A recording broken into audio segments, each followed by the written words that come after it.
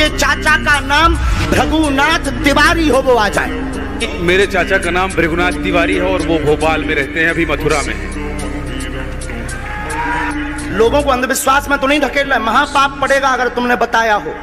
गुरुजी मैं तीन दिन से बल्कि इस सच्चाई को एबीपी न्यूज़ में दिखा रहा हूँ। मैंने कोई अंधविश्वास फैलाने का और बताने का काम नहीं किया।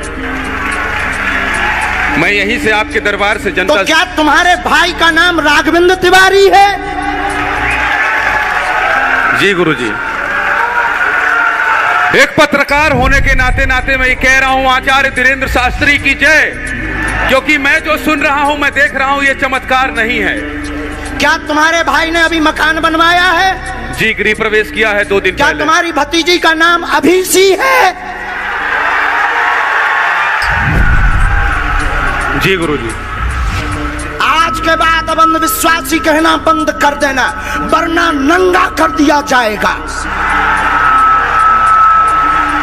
हम हनुमान जी के सेवक हैं, ललकार कर करते हैं कि हमने संतों की चरणों की तपस्या सीखी और सन्यासी बाबा की कृपा को पाया है।